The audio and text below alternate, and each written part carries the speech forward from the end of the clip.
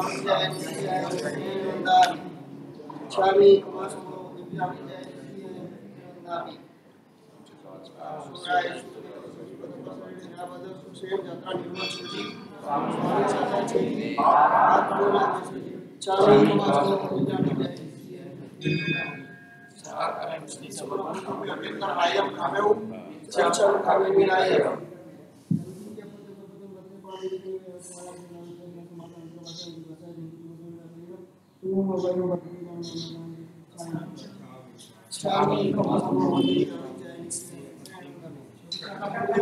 Negro.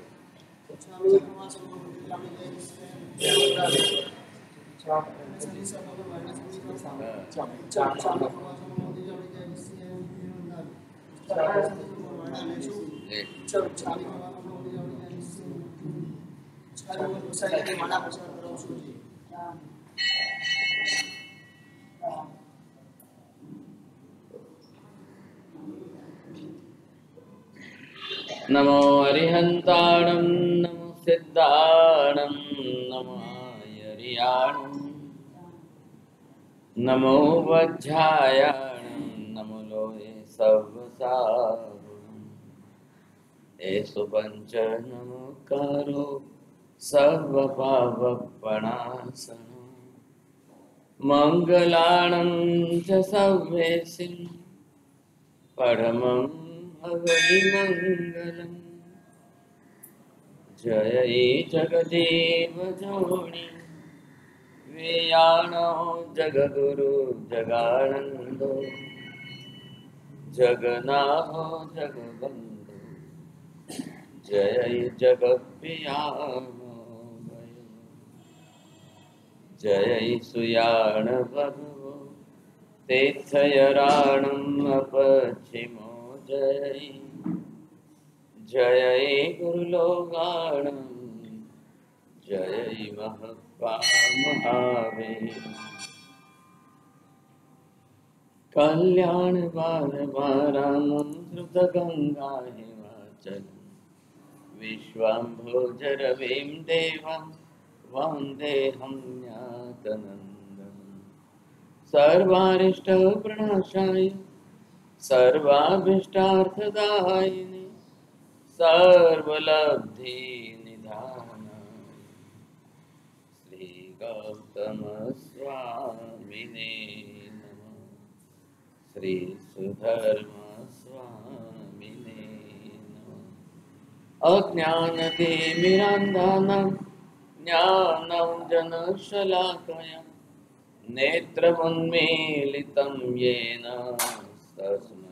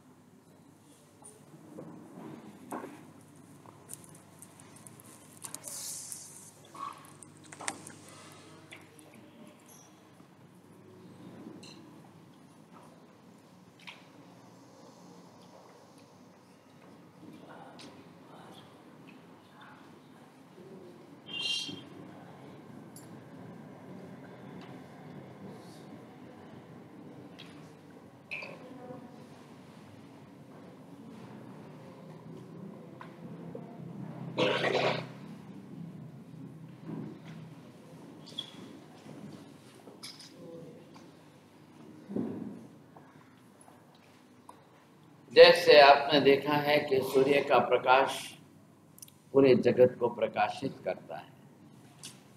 वैसे यहाँ पर आत्मा के अंदर सत्ता में पड़ा हुआ केवल ज्ञान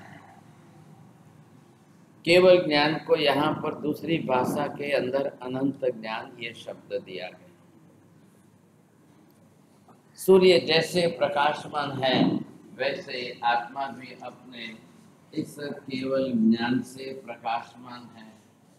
अब यहाँ पर यह है कि एक सूर्य का प्रकाश कितना हो सकता है। इससे भी अनेक गुना जो है, एक आत्मा के ज्ञान का प्रकाश अनेक गुना होता है। और इसीलिए चंदे सु निम्मलेरा आयचे सु अयम प्रयास। अनेक सूर्यों से भी अनेक गुना ज्ञान का प्रकाश फैलता है। सूर्य का प्रकाश ज़्यादा से ज़्यादा हमारे यहाँ की धरती पर इससे आगे ज़्यादा कोई सूर्य का प्रकाश नहीं जाता। नीचे धरती के नीचे नरक में सूर्य का प्रकाश नहीं पहुँचता है और ऊपर स्वर्ग में भी कोई सूर्य का प्रकाश नहीं पहुँचता। सूर्य चंद्र आदि सिर्फ़ हमारे इस धरती के ऊपर है और उनका प्रकाश भी इतने में लेकिन धरती के ऊपर होने वाले केवली भगवंत, जिनका ज्ञान भी अनंत है, जिनका दर्शन भी अनंत है। अब उनका ज्ञान, दर्शन चौदह राजलोक में सर्वत्र फैल सर्वत्र। चौदह राजलोक के अंदर एक कोना भी बाकी न हो कि जहाँ ज्ञान फैलता न हो, जहाँ ज्ञान प्रकाशित न हो। और ज्ञान का कार्य क्या है? अनंत ज्ञेय पदार्थों को प्रकाशित कर इसलिए भगवान ने कहा कि ज्ञान भी स्वपर व्यवसाय ज्ञान, प्रकाशक है। एक दीपक खुद को भी प्रकाशित करता है। एक प्रज्वलित दीपक को ढूँढने के लिए दूसरे दीपक को लाने की ज़रूरत नहीं है कि भी कहाँ पड़ा है। वो खुद ही बता देगा कि मैं यहाँ लेकिन वही दीपक दूसरे पदार्थों को भी दिखाता है। ज्ञान भी कैसा है? खुद की भी। बरोबर जो है, परिचितता करा देता है और अन्य पदार्थ जो भी है, उनको भी पहचान करा देता इधर देखिए, दो शब्द है, ज्ञान और दर्शन दोनों। तो दर्शन का काम जो है, मुख्य देखना है और ज्ञान से जो है, वो जानना होता है हमारा सबका जीवन इसी क्रिया के आधार पर चल रहा है। लेकिन महावीर एक बात ज़रूर कर गए कि संसार के समस्त जीवों में सत्ता में केवल ज्ञान, केवल दर्शन पड़ा है। बस अब उसकी आवश्यकता है प्रकट करने। अब वो आवरणीय कर्म से दबा हुआ पड़ा है, ढका हुआ है। आवरणीय कर्म जो है जितना केवल ज्ञान है, उतना ही केवल ज्ञाना वर्णीय कर्म जितना अनंत केवल दर्शन है, उतना ही अनंत गुना केवल दर्शना वर्णीय कर्म अब क्या हो रहा है? हम बिल्कुल भी पूरे जगत को देख नहीं पा रहे, पूरे जगत को जान भी नहीं पा रहे।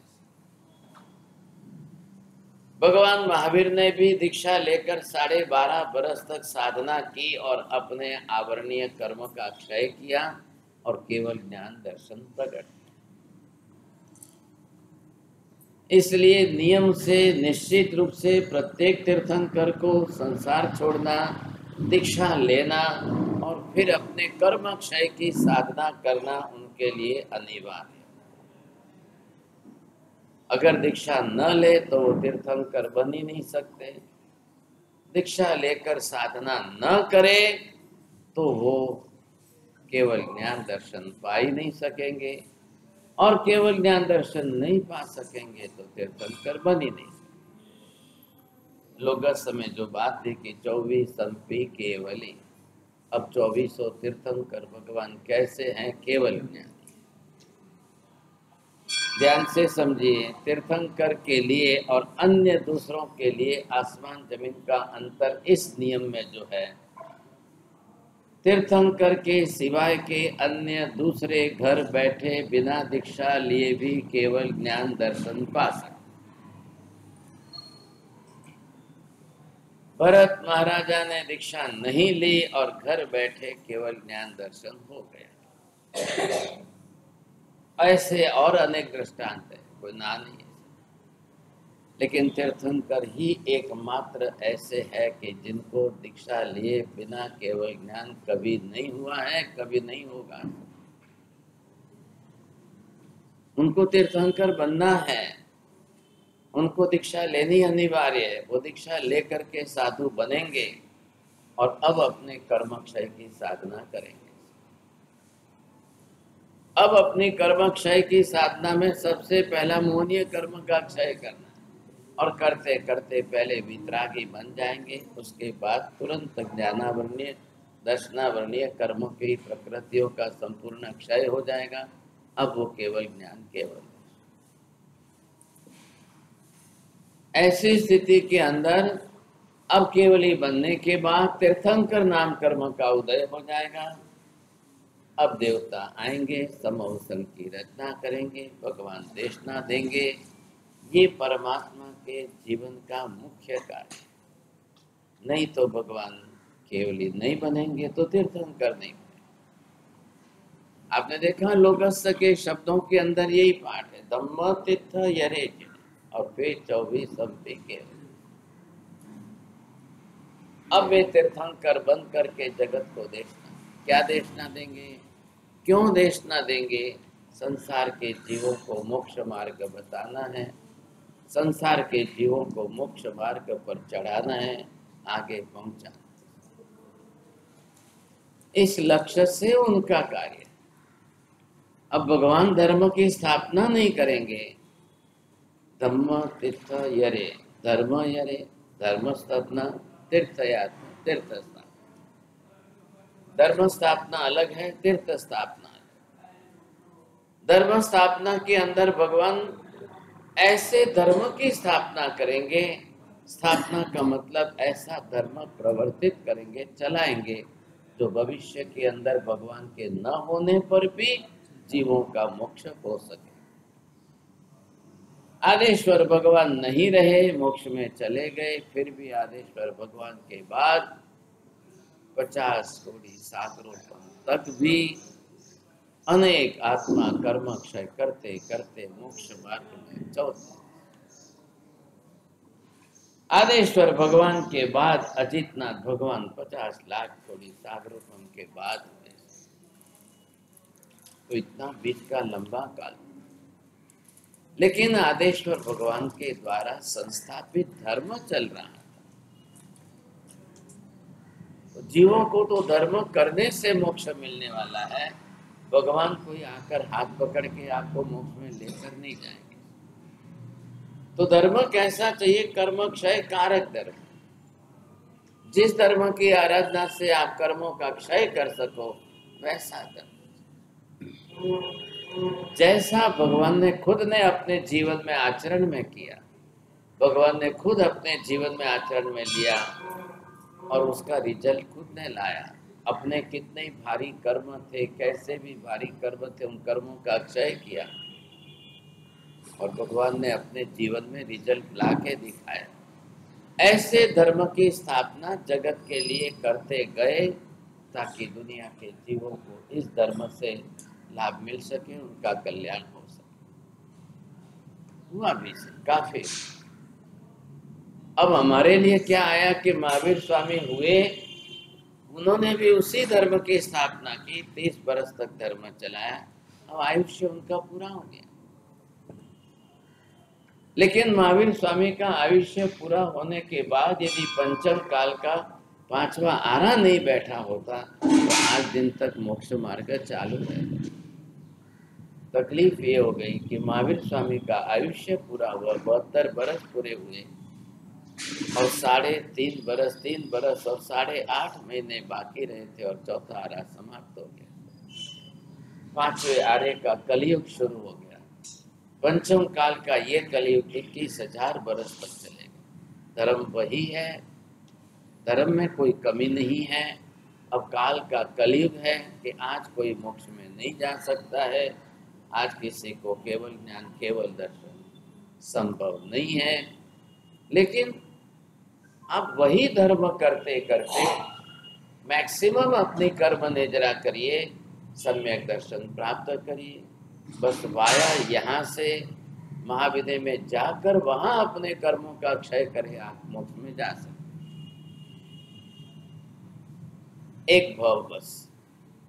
लेकिन वैसी कक्षा यहाँ आज तैयार हो तो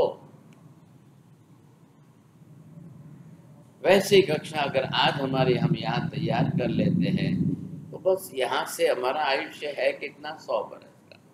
अब सौ बरस पूरा करके आप सीधे महाविद्य में महाविद्य में जा करके बचपन में ही दीक्षा ले। बिना शादी किए, बिना संसार बनाए आप दीक्षा लेकर के साधु जीवन में अपने कर्म निजरा कर लो।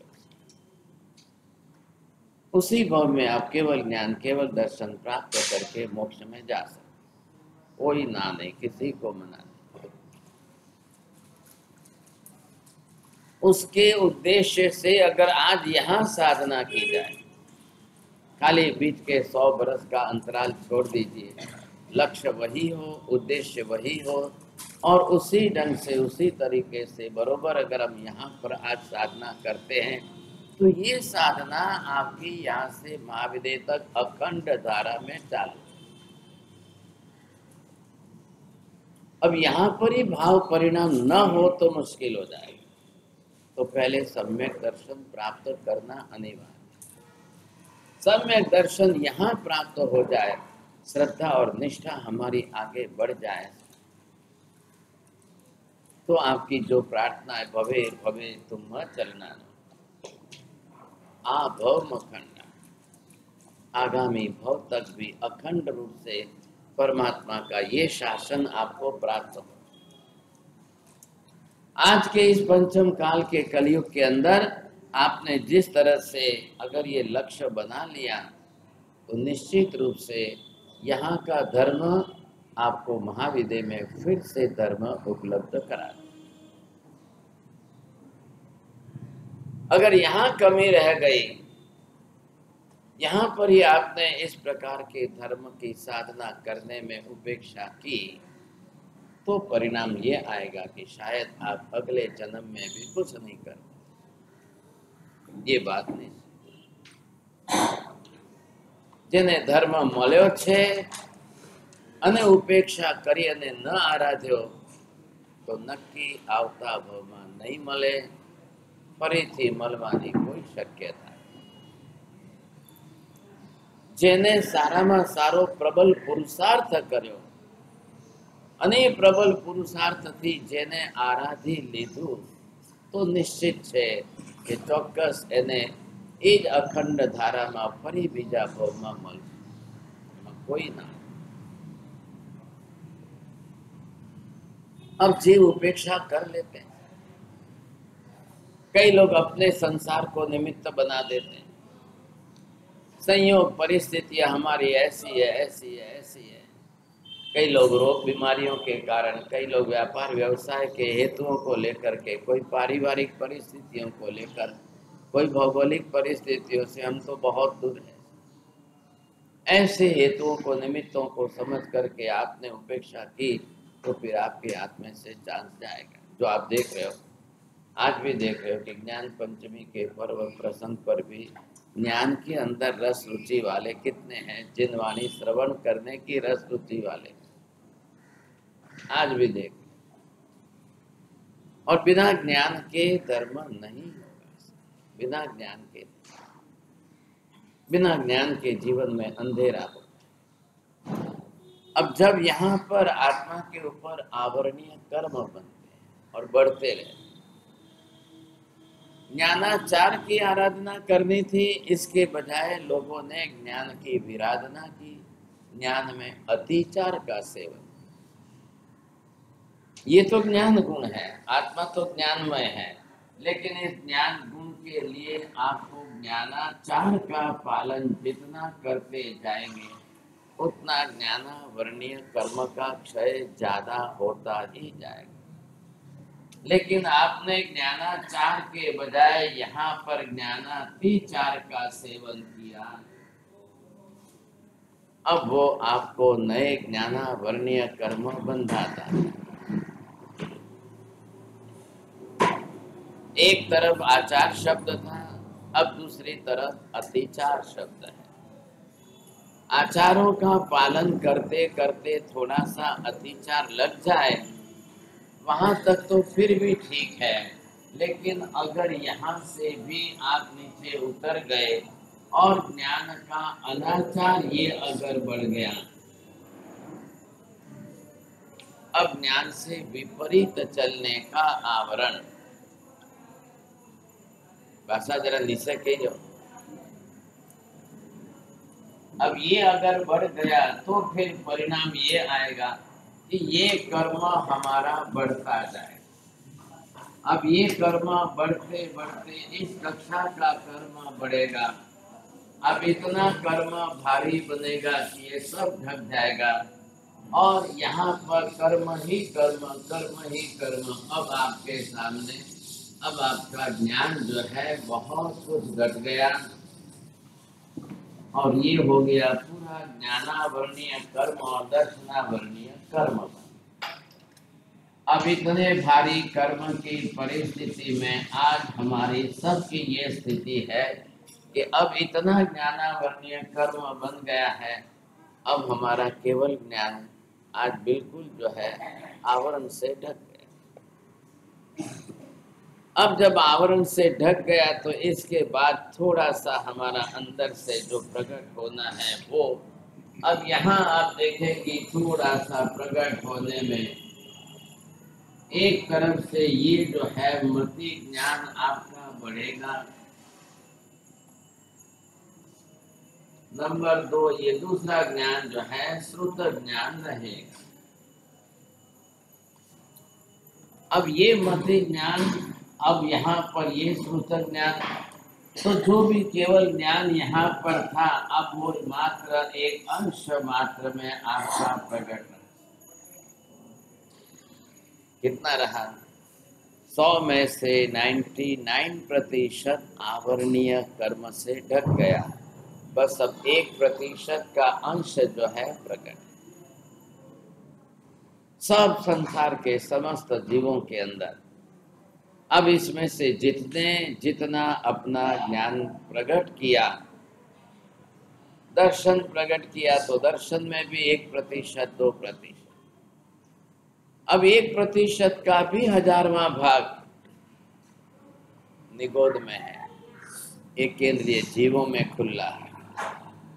उनका भी ज्ञान व्यवहार चल रहा है, ज्ञान दर्शन से, वो भी तो समझ पा रहे हैं, जान पा रहे हैं। एक आलू प्याज को भी पता चल रहा है कि मुझे फ्रिज में रखा है, ठंडे में ठिठुर रहा है तो उसको भी पता चल रहा है। एक आलू प्याज, लहसन, गाजर, मूला को भी पता चल रहा है, अनंत जीव है एक एक के अंदर। उनको पता चल रहा है कि इन्होंने मुझे जो है इस समय कुकर के अंदर गैस पर चढ़ा दिया है सब। अब वो चल रहा है आग के अंदर। आखिर तो एक जीव है, वनस्पति काय है? शरीर की चमड़ी जो है वो उनके लिए इंद्रिय है। आलू के ऊपर की शरीर की चमड़ी, प्याज के ऊपर की शरीर की चमड़ी, हर एक जीव के अंदर। एक आम है तो आम के शरीर के ऊपर की चमड़ी, वो उसके स्पर्श इंद्रिय है। और इंद्रियाँ जो है ज्ञानेन्द्रियाँ ये आत्मा तक बाहर से ज्ञान पहुंचाती अब वो ज्ञान कौन सा है? मति ज्ञान। अब जो बाहर से आने वाला ज्ञान आपके अंदर प्रकट होने वाला है, वो सिर्फ़ मति ज्ञान है। फिर मति ज्ञान में जितना आएगा, अब वो धीरे धीरे श्रुत ज्ञान में जाएगा। तब आपकी बुद्धि काम करेगी, तब आपकी समझ शक्ति चलेगी। इतना व्यवहार ज़रूर। अब बिना ज्ञान का तो संसार में कोई जीव ही नहीं। और जब बिना ज्ञान का कोई नहीं है तो बिना ज्ञान दर्शन के संसार में किसी जीव का व्यवहार ही नहीं होगा। कोई व्यवहार नहीं चलेगा। अनंत अनंत समस्त जीवों का व्यवहार जो है, उनके ज्ञान दर्शन से चलेगा। अब है कितना, ये देखना। क्या हुआ? पूरा केवल ज्ञान ढक करके आपके सामने अंश बचा है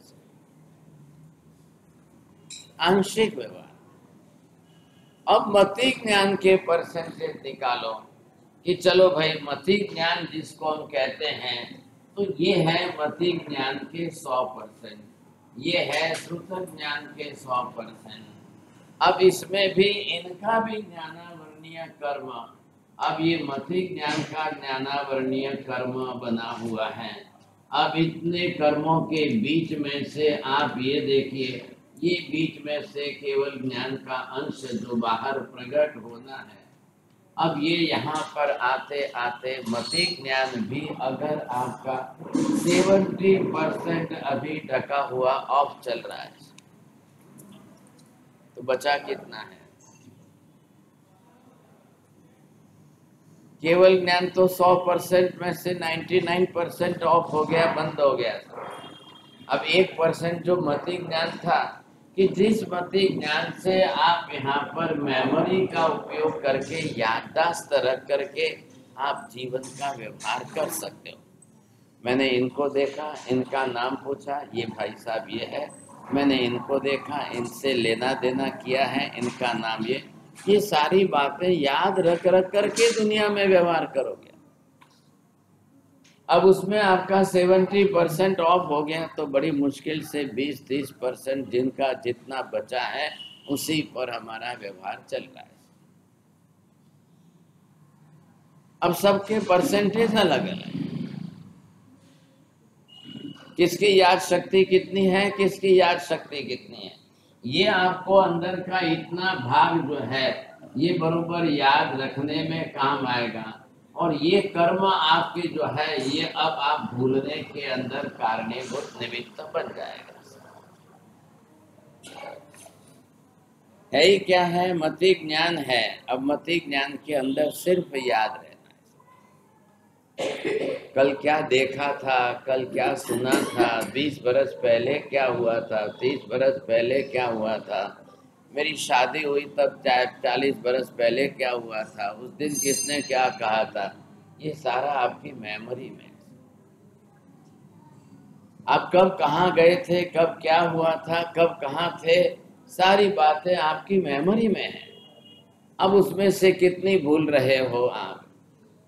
वक्तामर में भूल पड़ रही है तो ये आवरणीय कर्म है। आपके किसमें भूल पड़ रही है? पाँच प्रतिक्रमण में भूल पड़ रही है तो ये आवरणीय कर्म है मंदिर में स्तवन बोलते हुए भूल पड़ रही है, याद नहीं आ रहा है तो ये आवरणीय कर्म है।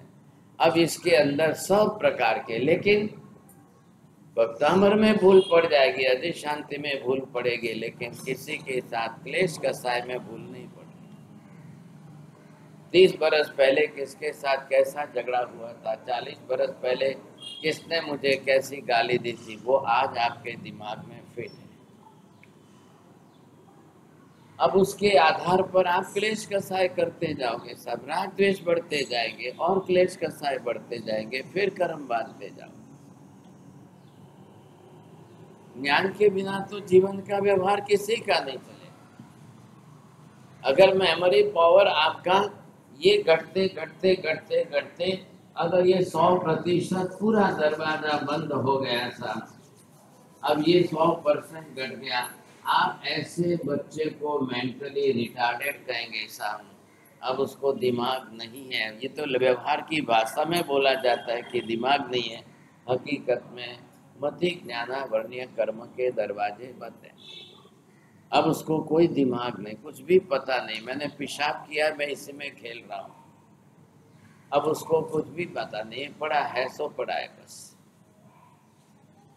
क्या करेगा? खाने की वस्तु रखो तो भी पता नहीं कि ये खाना है।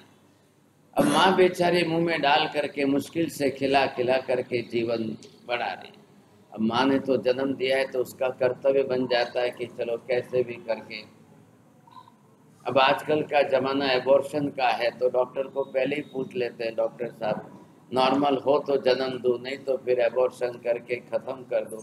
मैं इसके पीछे पूरी ज़िंदगी मैं बंद जाऊँगी साहब, मुझे जन्म नहीं देना है। आजकल डॉक्टर लोगों के पास प्रेग्नेंट महिलाएँ मैक्सिमम यही प्रश्न पूछती है। सब जगह ये चक्कर हो गए। अरे किसी न किसी जन्म में ये पंचेंद्रिय मनुष्य की हिंसा का पाप करके आए हो, तब तो आपको ऐसे बच्चे की माँ बनने का निमित्त मिल रहा है। आज फिर वही पाप करना है। आज फिर वही पाप करना है। फिर ऐसे पाप करके फिर कितने भविष्य के जन्मों तक आप कर्म उपार्जन कर। आपको सुनकर हैरानी होगी पूरी दुनिया के अंदर मेंटली रिटार्डेड बच्चों की संख्या करोड़ों में। हिंदुस्तान के अंदर तीन लाख जो है, अंधे हैं। जन्मजात अंधे सॉरी, तीन करोड़ बताए। अब उसके बाद में मूँगे बहरे कितने हैं साहब? तो किस कर्म का उदय है? कौन सा कर्म है पीछे? Till today the advance science is also absolutely fail to find out the reason the mentally retardedness and the dumbness and the विज्ञान तो आत्मा को मानने की बात ही नहीं करी है वो तो कर्म को बांधने की बात ही नहीं करी है वो ज्ञान दर्शन को कोई समझने की बात नहीं। ये फ़िज़िकल साइंस का है फिजिक्स का विज्ञान इसी प्रकार का है कि उसको सिर्फ़ इतना ही कहना है कि there is some mechanic defect लेकिन माँ भी मूँगी बहरी नहीं है, बाप भी मूँगे बहरे नहीं है, और बेटा मूँगा बहरा क्यों हुआ? अब इसका जवाब विज्ञान के पास नहीं माँ बाप दोनों मूँगे बहरे हैं तो उसका बेटा बोलता, कैसे हो गया साहब इसका कोई जवाब विज्ञान के पास नहीं है। अब आप जन्म जात जो मूँगा बहरा हुआ है, उसको हज़ार दवाई दे दो, हज़ार ऑपरेशन करा दो, आज दिन तक कोई भी केस सफल नहीं हुआ एक भी केस सफल नहीं आप चक्षुदान करते हो, लोग चक्षुदान देते हैं, ये सोचते हैं कि चलो इसकी आँख इसको बैठा दे, इसको इसकी आँख बैठा दे। तो तो फिर हिंदुस्तान में तीन करोड़ अंधे बच्चे रहते ही नहीं। अब जन्मते ही अंधे, जन्मे हैं, उनको बैठा दो आँख किसी की लेकर के, लेकिन आज दिन तक नहीं आपकी आँख जो है, किसी अंधे को मिल जाए, ये संभावना अभी तक नहीं। और आप लोगों को अब तो ख्याल भी नहीं है, हिंदुस्तान की आबादी 130-35 करोड़ है, और चक्षुदान करने वाले भी करोड़ हर साल अगर मान लो कि हिंदुस्तान के अंदर एक दो करोड़ भी चक्षुदान आप 135 की तो बात ही जाने दो। हिंदुस्तान में एक दो करोड़ भी अगर चक्षुदान और होता है, बहुत होते हैं, लेकिन गवर्नमेंट का फिगर है 20 प्रतिशत ही चक्षु यूज़ होती है, और इतनी प्रिजर्वेटिव कैपेसिटी नहीं होने के कारण 80 परसेंट चक्षु में फेंक देनी पड़ती गटर में फेंक। आप राज़ी होते हो कि मैंने चक्षुदान किया अब लोगों की अवेयरनेस आई है तो मेंटालिटी बनी है कई मरता मरता अपने आप को आप ही ने चाहिए कोई ने तो काम लाग अगर एक दो करोड़ लोग इतने चक्षुदान देते हैं तो गवर्नमेंट के पास इतने प्रिजर्व करने की कैपेसिटी होनी चाहिए। डीप फ्रीज के अंदर उसको आप कितने टाइम तक रखो कितने टाइम तक रखो फिर इधर सामने उतने केस होने चाहिए कि जिसको यूज़ हो सके। जन्म, जात, अंधे लोगों को चक्षु लगती नहीं है। सोचिए। नंबर दो, जिनके चक्षु में कुछ जिसको झाला हो गया है, खुला हो गया है, चक्षु के ऊपर कुछ जो है, वो कॉर्निया ग्राफ्टिंग बोलते हैं। इसलिए कॉर्निया ग्राफ्टिंग के लिए आपके चक्षुदान का उपयोग होता है, बाकी नहीं। जन्म से अंधे ऐसे जो है, वो तो ठीक है, चलो, तीन करोड़ है। लेकिन जामरा के कारण कैटरेक के कारण, या आजकल दृष्टि चली जाती है उसके कारण, या हाई परसेंट के डायबिटीज़ के कारण, जिनका डायबिटीज़ साढ़े तीन सौ, चार सौ, पाँच सौ चल रहा है, उनके अंदर की ऑप्टिक नसें सूख जाती है। ऐसे कई कारणों के कारण जो है, पचास बरस की उम्र के बाद, साठ सत्तर की उम्र के बाद लोगों की दृष्टि चली जाती है। वो संख्या और करोड़ों में है। आपका चक्षुदान उनके भी काम नहीं आता। अब अंदर डायबिटीज़ इतनी भरी पड़ी है तो आपका चक्षु, जब उनके खुद के चक्षु ओरिजिनल वही खराब हो रहे हैं तो आपके चक्षु कहाँ बैठे? और चक्षु के अंदर जो है, आँख के अंदर, मूल अंदर चले जाओ तो अंदर रेटिना है। रेटिना के सेंटर में मैकुला है। मैकुला के पीछे ऑप्टिक नव जाती है। ऑप्टिक नव ब्रेन में जाएगी। अब क्या करेंगे आप? जो जीव गर्भ में अपने कर्म से रचना कर सकता है, वैसी रचना आर्टिफिशियल बाहर दुनिया में कभी नहीं। कर अब इतनी बड़ी समस्या है, आज की तारीख में इतनी बड़ी संख्या है। आप सौ बरस पहले, आज से पचास, साठ, सत्तर बरस पहले जन्मते बच्चों के चक्षुओं की कमज़ोरी या चश्मे के नंबर का प्रमाण जितना नहीं था, उससे हज़ार गुना आज बढ़ गया उस जमाने में देशी शुद्ध गाय का घी था, खाने में आता था और गाय के घी के साथ लोग जो है काली मिर्च और खड़ी मिश्री का सेवन करते थे। एक बरियाली सौंप का सेवन करते थे। बच्चों की आँखें बरसों तक जो है सक्रिय रहते थे। नंबर नहीं आते। हमें आज तो દેખવાને કટે ખાધું છે તમે ગીર ગાયનું શુદ્ધ ઘી જોયું પણ છે के नहीं? खावानी बात तो जवा दो। अब रोज जिसने डालडा खाया हो भरूरारी चर्बी सुअर की चर्बी और पाम ऑयल का मिक्स घी खाया, उसको असली प्योर घी ला के दे दो तो वो उसको गलत कहेगा। And it is medically research के अंदर प्रूव हुआ है, गिर की गाय हो जिसके शरीर पर पीली चमड़ी और हम्प हो it absorb the sun rays in that and due to that sun rays the milk convert as a yellow colour and that yellow colour it is the percentage of gold तो गिर गाय के दूध के अंदर घी के अंदर जब research हुई तो माइक्रो परसेंटेज के अंदर गोल्ड पाया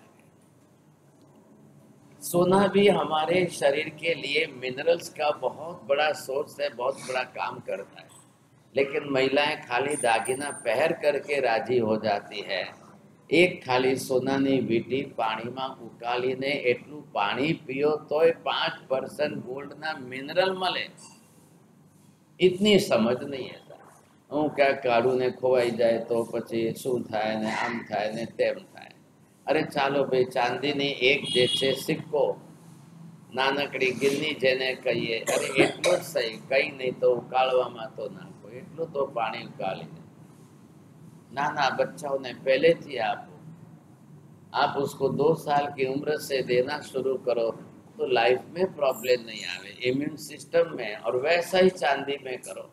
एक चांदी की चम्मच ऐसे ही पानी में रख करके पानी बॉईल करके पियो तो पाँच परसेंट का मिनरल मिलेगा।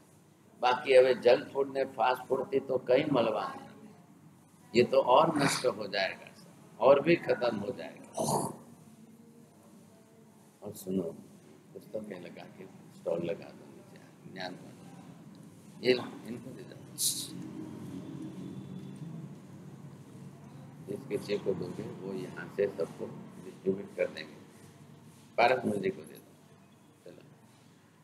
ऐसी स्थिति के अंदर जब ये एक हेतु बन जाए हमारा कि कैसे हम ज्ञान को विकसित करें।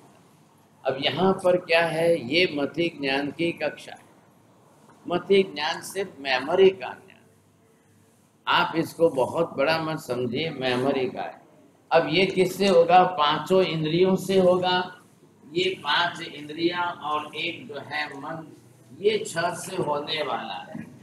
अब इसके 28 वेद इसमें आ गए। अब ये होने के बाद यहाँ से आएगा वो श्रुत ज्ञान में आएगा तो श्रुत ज्ञान में आया, वो इंटेलेक्चुअल लेवल का बन गया, अब वो बुद्धि का ज्ञान बन गया। तो बुद्धि के ज्ञान में क्या होगा? समझ शक्ति बढ़ेगी आपकी मेमोरी में याद रहेगा, इसमें समझ शक्ति बढ़ेगी, इतना अंतर है दोनों में। अब ये ख्याल आ जाएगा। अगर पहले मति ज्ञान की दरवाजे बंद है तो फिर वो श्रुत में आएगा कहाँ से? इसलिए जिसका मेमोरी पावर नहीं है, इंद्रिय जन्य ज्ञान नहीं बढ़ता है, उसके अंदर ये भी तकलीफ़ आती है कि आगे उसकी बुद्धि और समझ भी नहीं बढ़ती। सबसे बड़ी अब नहीं बढ़ेगी तब आप क्या करोगे? समझ शक्ति नहीं बढ़ेगी तब आप क्या करो कैसे करोगे? तो ये भी इतना ही अनिवार्य हो गया है। दो पर हमारा जीवन चल रहा है इस दो के ऊपर हमारा पूरा जीवन चल रहा है। या तो आपका मति ज्ञान सही हो, या आपका श्रुतक ज्ञान सही हो। दोनों परसेंटेज में 10-20 परसेंट दोनों अगर लेवल में हो तो आपका जीवन चल सकेगा, नहीं तो बहुत मुश्किल हो जाएगा। नहीं तो जीवन चलना असंभव हो जाएगा। अब ऐसी स्थिति में जब हमारे ये दोनों दरवाजे बंद होते हैं, आवरणीय कर्म से, जब आवरणीय कर्म बढ़ जाएगा तो फिर ये दोनों ही दरवाजे हमारे ऐसे बंद हो जाएँगे कि मुश्किल हो जाएगा जीवन जीना था ये हमारी पाँचों इंद्रियाँ हैं अब ये पाँचों इंद्रियाँ जिस प्रमाण में जितनी काम करे, अंदर कौन है? अंदर ये आत्मा। है अब इस आत्मा के घर में यहाँ से सबसे पहले आपको ये दर्शन हो जाएगा। अब यहाँ आने पर ये आपका ज्ञान हो जाएगा। दर्शन में ये पाँचों इंद्रियाँ काम कर रही है। पहली इंद्रिय, दूसरी इंद्रिय, तीसरी इंद्रिय, चौथी इंद्रिय, पांचवी इंद्रिय। अब सबको अपनी तरफ़ से काम करना है। पहली इंद्रिय आपकी ये है स्पर्श इंद्रिय। अब ये दूसरी रसनेन्द्रिय, तीसरी घ्राणेन्द्रिय, चौथी चक्षुन्द्रिय और पांचवी श्रवणेन्द्रिय। अब आपको यहाँ से आठ प्रकार के स्पर्श का ज्ञान करना है, पाँच रस का ज्ञान करना है, दो गंध का ज्ञान करना है। अब पाँच प्रकार का कलर जो रंग है, उसका आपको करना है। और पांचवी इंद्रिय में तीन प्रकार की ध्वनि जो साउंड है। अब ये आप पूरा मिला दीजिए, ये तेईस विषय हो गए। अब इन तेईस विषयों को पाँचों इंद्रिया ग्रहण करके लाए। तब यहाँ पर ये दरवाजे हैं। इसमें से आपका अंदर विजन आ जाए। खाली ये मैकेनिज्म है तो यहाँ से जो आपके ब्रेन में गया, ये ब्रेन है, यहाँ से जाकर के अब ज्ञान में आया। ये ज्ञान के अंदर ये दो विभाग हो गए कि ये मति ज्ञान है और ये श्रुत ज्ञान जो इंद्रियों से आया आपका, ये आपको सबको इधर आकर के इकट्ठा होना है। अब ये आपका मति ज्ञान बन गया। जिसका मति ज्ञाना वर्णीय कर्म ज़्यादा है, अब वो यहाँ ऑब्स्ट्रक्शन करके उसको रोके। जो चीज़ मेमोरी में आपके सेट रहनी चाहिए थी, अब वो मेमोरी में नहीं रहेगी। और रोज ये सब का अनुभव है। કોને કેટલું યાદ રહે છે અને કોણ કેટલા ભૂલે છે ये आपको ख्याल आ जाएगा याद रहने का प्रमाण आपका जितना है अब इसमें ये आपका परसेंटेज है अगर ये आपका 60 परसेंट है तो आप 60 परसेंट भूल रहे हो और आपका ये खुला है तो 40 परसेंट आपको याद रहे अब ये जीवन चल रहा है सामने इसमें भी आप देखेंगे मैक्सिमम आपका जो याद रखने का है, अब वो अगर आपके कसाय के निमित्त है, और कसाय में ये आपके राग का निमित्त है, ये आपके द्वेष का निमित्त है तो ये आपके राग द्वेष के कारण जो जो क्रोध मान माया लोग की बातें हैं, वही आपको सब यहाँ आकर के इकट्ठी होकर के याद अब ये चीजें आप भूल नहीं सकते हो ये आपका स्ट्रेस एंड टेंशन बन गया જે ક્લેશ કસાય નહીં વાતો કોઈએ ક્યારે કરેલી કોઈએ ક્યારે કરેલી એવી ક્લેશ કસાયની વાતો ભૂલાતી નથી એ હવે ટેન્શન બની ગઈ ये मानसिक चिंता हो गई है अब ये चिंता इतनी बढ़ती जाए बढ़ती जाए बढ़ती जाए सामने निमित्त टल नहीं सकते संजोग बदल नहीं सकते हैं। अब संयोग बदलते नहीं है, निमित्त टलते नहीं है तो वो आपके लिए आवरणीय कर्म के रूप में इधर ये आपके लिए क्रोध, मान, माया लोक का कर्म बनता जा रहा है। ये इसके कथाए के निमित्त बनते जा रहे हैं। अब यही आपको बार बार याद रहेगा। वर्षों तक याद रहेगा। अभी हमेशा के लिए आपकी मेमोरी में से जाने वाला बहुत मुश्किल हो या तो आप अपनी तरफ़ को, अपनी आत्मा को ज्ञान की दिशा में मोड़िए आपको ज्ञानाचार में चलिए, आप कुछ न कुछ अपनी तरफ़ से जो है, कोई प्रयत्न करके देखिए, फिर आप अपने आप को जो है कैसे सुधार सकते हो? क्लेश कसायों को भूलने का दूसरा हमारे पास कोई कारण नहीं कोई रास्ता ही नहीं है। आप करो तो क्या करो? कैसे करोगे? अब ऐसी स्थिति के अंदर अगर हम इन राग द्वेष को नहीं घटा सके तो मेमोरी इसी की भर जाएगी। अब मेमोरी ज्ञान की नहीं भरेगी, अब मेमोरी राग द्वेष की भर जाएगी। आप बच ही नहीं सकोगे। आप अपने आप को बचा भी नहीं सकोगे। ऐसी परिस्थिति आ जाएगी। भारत जी अटे अटे बहुत बीजा जाना। ना अटे नहीं आया, करे नहीं। अब ये निमित्त आप अगर नहीं समझ पाए तो क्या होगा? रोज ज्ञाना ज्ञान का अतिचार हमारा बढ़ रहा है। उपेक्षा होगी आज ज़रूर ज्ञान पंचमी आइए आज ज्ञान की कदर करके आप जो है अपनी तरह से ज्ञान पूजा कर लेंगे। कल से वापिस हो जो लोग ज्ञान के पुस्तकों को फाड़ देते हैं, ज्ञान को जला देते हैं, ज्ञान के अंदर कागज़ में खा लेते हैं, पी लेते हैं, कोई कुछ कर देते हैं, कोई कुछ कर देते हैं अब उनको रोज का ज्ञानावरणीय कर्म बने एक यहाँ का समाज ऐसा है, कुछ लोग रोज सुबह उठ करके दोन पेपर घ्यायचे त्याच्यात तंबाखू ठेवायचा जाळायचं मग पावडर करायचं करायचं झालं। अब उनके वहाँ पर न तो संस्कार है, न वैसी समझ है, न वैसा कोई बोध है, समझे। अब क्या करेंगे एक धर्म का कार्य है, वो धर्म आपको अगर वैसा बोध दे वो धर्म अगर वैसा आपको ज्ञान दे तो आगे बढ़ेगी। नहीं तो कुछ नहीं होगा। ये भी समस्या इतनी है।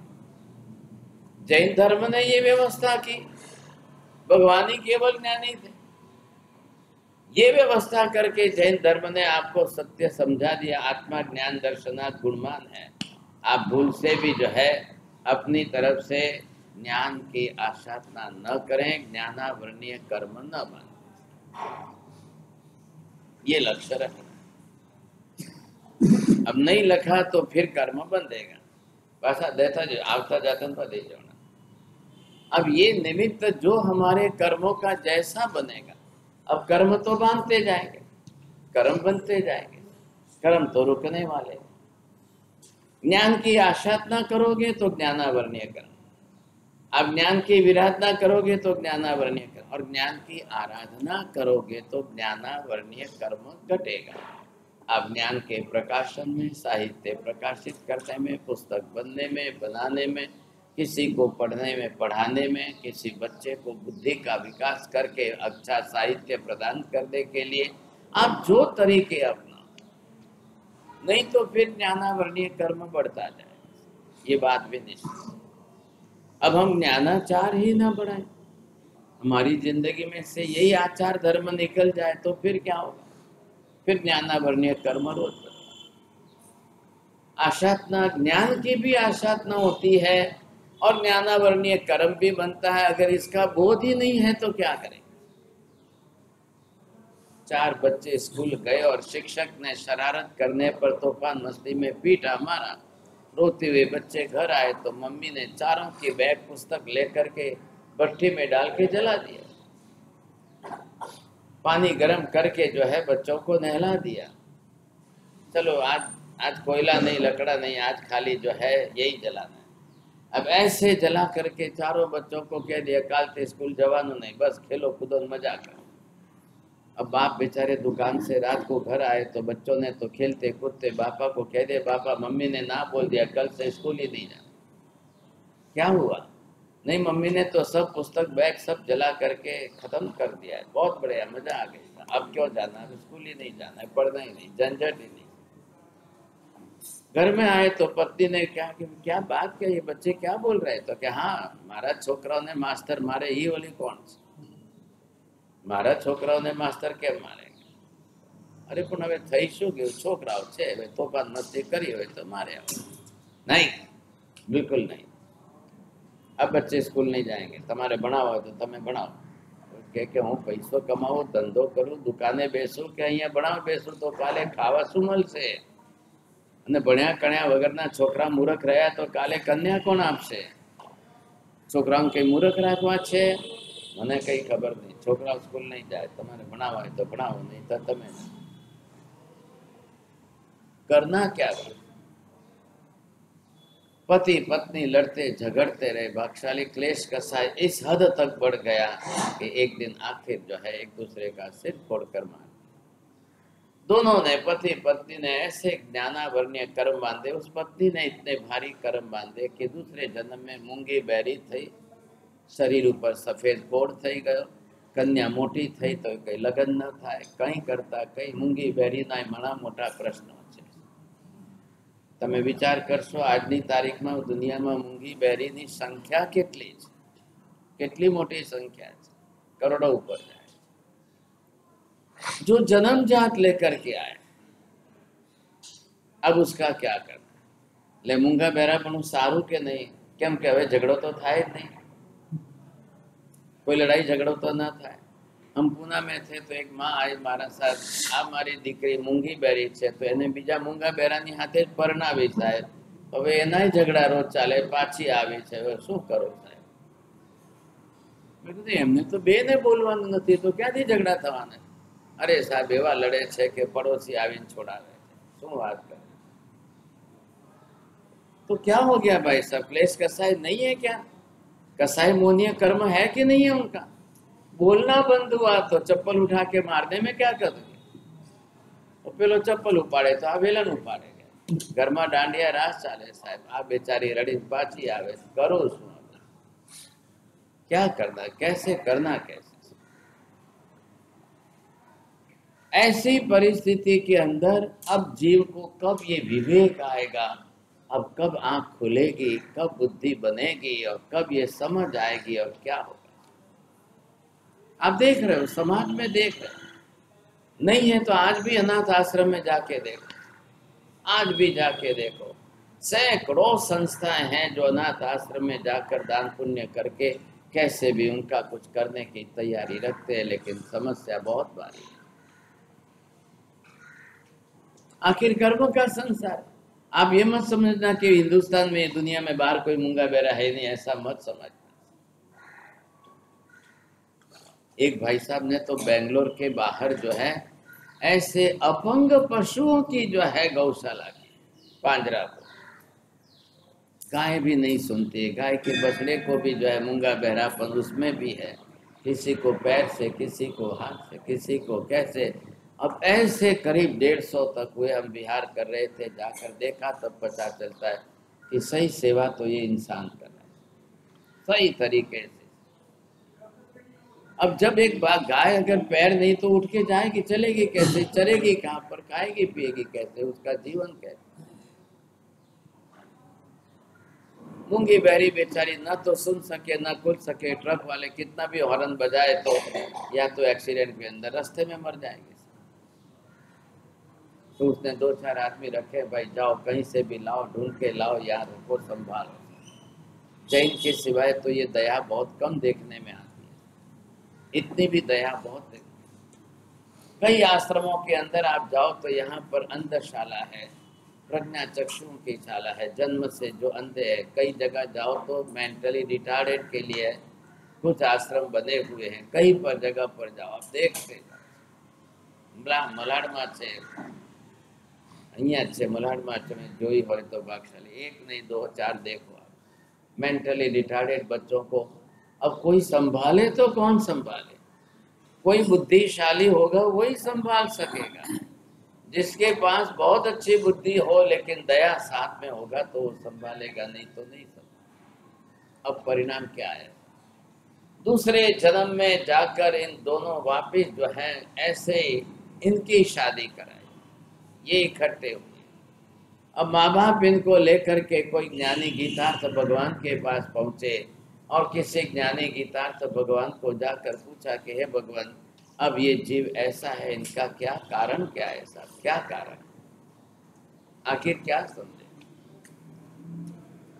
केवल ज्ञानी भगवान तो भूतकाल के भव जान करके, भूतकाल के उनके कर्म समझ करके भगवान ने तो साफ़ कह दिया कि भारी ज्ञानावर्णीय कर्म बाँध कर। साहब, कैसे बांधे और क्या किया? ऐसा किया और ऐसे बांधे। बच्चों को स्कूल जाने नहीं दिया। उनकी पुस्तकें ही फाट जला दी आज भी रोड हो रहा है। आज भी रोड आज भी विज्ञान की पुस्तकें जलाना, पुस्तक में से फाड़ देना। कई हमारे घरों में महिलाएँ झाड़ू निकाल करके अब बच्चे के स्कूल की नोटबुक थी दो साल पहले की पड़ी है, लेकर के कचरा डालकर पड़ी का बना के बाहर फेंक दिया। ये आज चल रहा है। कई लोग चना, मुरमुरा भेल पूड़ी जो है, वो कागज़ के अंदर लेकर खा करके कागज़ फेंक कर चले जाते कई यंगस्टर लोग जो नहीं समझते, नहीं जानते, वो अपने जो है, भाषा यूँ मोटा है तो थोड़ा किस तो है, क्यों यूँ?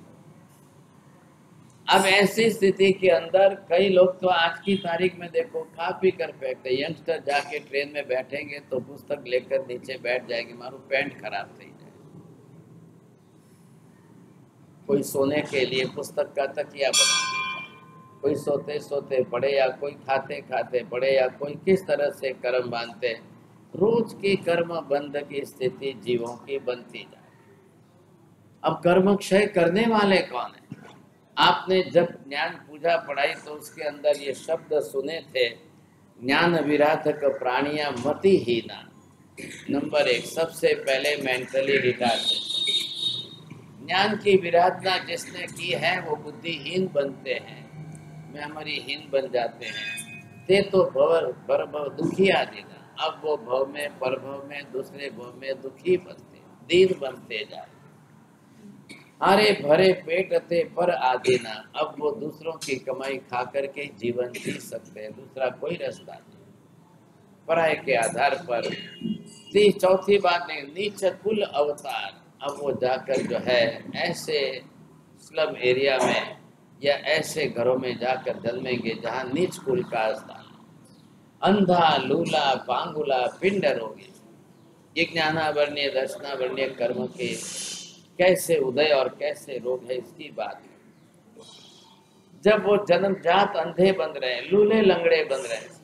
आप सुबह सुबह यहाँ पर सामने चाय पीने आते हैं, साढ़े छह बजे देखो। आप देखो तो पता चले कि पैर भी नहीं खुल सकते चल भी नहीं सकते कैसे शरीर घिस करके चलते हैं, किस देर से? अब वो पांगुला बंद करके और पिंड रोगी शरीर के अंदर किस प्रकार के एनेमिक कंडीशन वाले? आगे चलकर कहता है, जन्म्या ने मात वियोगी कई बच्चे जन्मते और माता की मृत्यु हो जाती और बच्चे तड़पते रहते। माता पिता का वियोग बचपन में छोटे से काल में होना भी ऐसे ज्ञानावर्णीय कर्म का निमित्त बताया। इसी तरह से संताप गणों ने सोगी दिया મેન્ટલ ટેન્શન માનસિક સંતાપ ત્રાસ એટલો બધો હોય છે કે જીવોને કોઈ શાંતિ વળતી નથી समझे जो कोई ज्ञान की साधना में ज्ञानाचार में हो बड़ी उम्र में भी अपने ज्ञान की आपासना में लगा हो और ऐसे को मानसिक संताप देकर के भी लोग ज्ञानावर्णीय कर्म मानते हैं आप सोच लो अब इस तरह से करते मूँगा आने वाली भोबड़ा अब वो मूँगे बनेंगे, बहरे बनेंगे केम के नियम छे। जो बहरे बनेंगे, वो शब्द ही नहीं सुन पाएँगे तो बोलेंगे कहाँ से? ज्ञान का तो नियम है। आप सुनोगे तो आपकी वोकेबलरी में कुछ ज्ञान आएगा। आपके दिमाग में कुछ शब्द आएँगे, तभी जा करके आप बोल सकोगे, नहीं तो बोलोगे कहाँ से? ये भी समझ। मूंगा ने बोबड़ा થાય છે ભલી बेचारा धनहीना गरीब भिखारी बनते मांग मांग कर पेट भरने वाले बनते बहुत हालत दयनीय बन जाती है प्रिया पुत्र वियोग अब या तो पुत्र का वियोग होता है पुत्र संतान ही नहीं होते हैं या पत्नी का वियोग हो जाता है ऐसी परिस्थितियां आ रही हमारे मूर्ख अविवेक के बिना मैडनेस जो आती है फुलिशनेस जो आती है या मूर्खता जो आती है भागशाली कैसे पड़े कोई ज्ञानी और किसी मूर्ख के अधीन पराधीन होकर जीवन जिए तो उसका संताप कितना भारी होता है। लोग संसार के अंदर 90 प्रतिशत स्वभाव का उपयोग करते हैं। 10 परसेंट भी बुद्धि का उपयोग करके जीने वाले बहुत कम हैं। अब सब जगह चले जाओ, संसार में सब जगह देखोगे। आपको स्वभाव का उपयोग करने वाले ही नाइन्टी परसेंट मिलेंगे बहुत इजी है ना बहुत इजी है धड़ बड़ा धड़ मुंह से क्लेश कसाय करके कुछ भी फेंक दो आसान का बुद्धि से किसी गुत्थी को समझाना या उकेलना बहुत मुश्किल होता है तुम तो लोग बस ऐसी मानसिक धारणा में रह जाते શું વાત છે એક માં को પૂછો કે બે થપ્પડ મારીને છોકરાને ચૂપ કરી દેવું સહેલું છે કે અડધો કલાક શાંતિથી સમજાવીને એને શાંત રાખવો સહેલો છે બે માંથી શું કરી શકો આપણો અનુભવ કઈ બોલો નહીં બોલનો चलो एक माँ जे थे ग्रीन साड़ी वाले समझा बुझा करके बहुत अच्छा एक तो है गोल्ड मेडल देना चाहिए ये कभी थप्पड़ मार के चुप नहीं करते हैं ये कभी डांट फटकार से चुप नहीं करते बाकी सौ में से नाइन्टी परसेंट देखने चले जाओ। दर्द कड़ा दो थप्पड़ लगाए, चुप। કોણ અડધો કલાક માથાકૂટ કરીને સમજાવે એને एक, छोकरा मतलब शो छोकरा एट बे थप्पड़ मारो ने चुप। अब आप जैसे ये रास्ता अपनाओगे तो रिएक्शन क्या आएगा? भले ही संतान आपका है, बच्चा आपका है, लेकिन इसका मतलब ये नहीं है। महावीर तो सिर्फ़ ये करें कि भी ये तो संबंध है आप मात्र इन संबंधों के संस्कार आप संबंधों से मत समझिए वो भी एक स्वतंत्र जीव है उसकी भी एक स्वतंत्र आत्मा है आप पहले ये ध्यान रखें ऐसी स्थिति में ज्ञान तनी आशात ना करी दूरे पहले ये समझिए कि भाई पहले ज्ञान की आशात ના કરો આરાધના ઓછી થશે તો ચાલશે પણ આશાતના વધારે થશે તો કરમ ભારી आशातना अगर आप ज्यादा होती रही ज्यादा करते गए तो कर्म का बंध ज्यादा કર્મના ભારે કર્મના બંધન થાય અહીંયા જુઓ હવે આ જીવ છે એક બાજુ આ એનું મતિ જ્ઞાનાવરણીય કર્મ આ બાજુ બીજું જે છે એનું શ્રુત જ્ઞાનાવરણીય કર્મ હવે એ કેટલા ટકા છે આનું કામ શું છે સમજણ શક્તિ ને આનું કામ છે યાદ શક્તિ बोलो, अब दोनों की ज़रूर है कि नहीं संसार में? अगर आपकी याद शक्ति कम हो और बुद्धि की शक्ति ज़्यादा हो तो अच्छा है। कि बुद्धि की शक्ति कम और याद शक्ति ज़्यादा हो तो अच्छा है। चाहिए की बात जाने दो, आपकी परिस्थिति क्या है? आप कैसी परिस्थिति देख रहे हो? तो चार भेद हो रहे हैं समझे कि नहीं? बहुत कम लोग हैं कि जिनकी दोनों ही प्लस पॉइंट में ज़्यादा अच्छी हो। યાદ શક્તિ ઓછી અને સમજણ શક્તિ વધારે વાલા ટકાવારીમાં મળશે સમજણ શક્તિ ઓછી ને યાદ શક્તિ વધારે એવાય મળશે અને બંને નથી એવા પણ જીવો સંસારમાં છે तो दोनों के दो कर्म अलग अलग है मति ज्ञानावरणीय सूतक ज्ञान आज ये ज्ञान पंचमी है तो आप क्या करोगे 28 खमास ने मति ज्ञान के दोगे उसके भेद है और फिर जाके 14 या 20 कमास ने आप श्रुतक ज्ञान के। आप यहाँ पर ला करके एक श्रुतक ज्ञान का उपकरण जो है, वो रख करके श्रुत भक्ति कर रहे हो। एक पेपर ला के, पेंसिल ला के रख दी, बस बारह महीने के लिए हमारा श्रुतक ज्ञान हो गया। इतने में राज़ी मत हो जाइए थोड़ी पुस्तकों की कदर करिए। बहुत सी महिलाएँ दीपावली के अंदर घरों में से पुस्तक निकाल के एक साड़ी नहीं फेंकता। एक कपड़ा नहीं फेंकते, पुस्तक निकाल के फेंकते। ऐसी परिस्थितियाँ आज मोटो दिन है, बहुत दिन, बहुत मिनट दस मिनट ऐसी स्थिति के अंदर आप देखिए, दीपावली आई। घर के साफ़ सफ़ाई कचरा निकाला, कचरे में सबसे ज़्यादा मैक्सिमम लोगों ने पुस्तक है અને અહીંયા દેરાસર છે લઈ જઈને ભંડાર ઉપર મૂકી દો કોણ જોવા વાળો છે ને કોને ખબર પડે घर की एक साड़ी निकालने को तैयार नहीं एक साड़ी भी हो तो वो कांच वाला या ग्लास वाला आवे तो दे करके दो ग्लास लेने की मेंटालिटी અને કાં પછી પુસ્તકો જે છે પછતીમાં જાય છે आप ये गलती करोगे ज्ञानावरणीय कर्म बारे आप एक दिन के लिए मत करो बारह ही महीने रखो આજનો દિવસ જ્ઞાનાવરણીય કર્મ નહીં બંધાય નહીં બારે મહિના જે છે જ્ઞાનાવરણીય કર્મ બંધાય છે એનું પરિણામ ભોગવીએ છીએ एक भाई साहब अमेरिका से तीन बरस से ढूंढते हुए आए कि कर्म तनी गति न्यारी लखनार महाराज कौन है अब वहाँ की करोड़ों की संपत्ति सब बंद कर दी साहब फिर उन्होंने देखा तो आके पुणे में उन्होंने मिले बोले महाराज मेरा बच्चा जो है वो मेंटली रिटार्ड है પૈસો ખૂબ છે કરોડો છે છોકરા માટે એક ગાડી જુદી લીધી છે બે નોકર જુદા રાખ્યા છે રોજ એને નવડાવે દોડાવે ખવડાવે પીવડાવે બીજું તો શું કરીશ अब मैंने सब कुछ वहां से छोड़ दिया अब यहाँ आकर मैं बेटे के निमित्त कुछ ज्ञान का साथ ज्ञान का कार्य करूं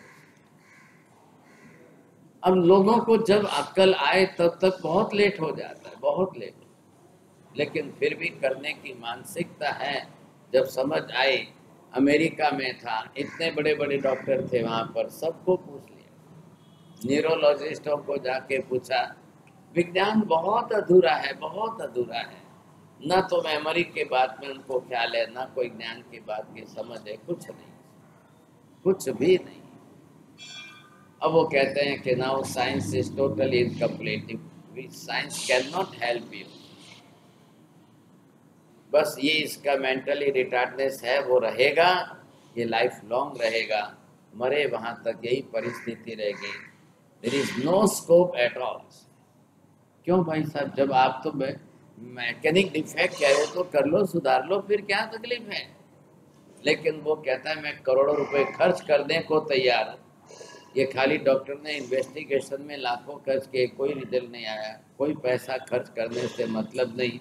अब इसके हाथ इसके निमित्त ज्ञान की आराधना करो अब वो बेचारा बच्चा नमो नानस का जाप कैसे करे करे तो कैसे करे बोले उस जमाने में कैसे प्लेयर रख करके नमो नानस का जाप करके इसको सुनाते और क्या करो अपना मन राजी करने के लिए मैकेनिज्म का आधार ले लिया लेकिन मन में तो असंतोष बहुत रहा कि હું ચોવીસ કલાક બેસીને તો કઈ એને સંભળાવી શકતો નથી હું तो कहीं કરી શકતો નથી तो શું કરું इतना बड़ा अफसोस रहा अब संसार तो इसी प्रकार से चल रहा है भारी ज्ञानावरणीय कर्म के हिसाब से अब कहीं ना कहीं तो हम चल करके ज्ञान की आराधना करो ज्ञान की उपासना करो आप आते आते अगर यहाँ पर आते हो तो यहाँ हमको तीन निमित्त मिल रहे हैं नंबर एक ज्ञान मिल रहा है ज्ञान गुण है आत्मा नंबर दो, ज्ञान गुण को जिसने प्राप्त कर किया है, ऐसे ज्ञानी मिल रहे हैं। नंबर तीन, इधर आकर के आपको ज्ञान के उपकरण मिल रहे हैं।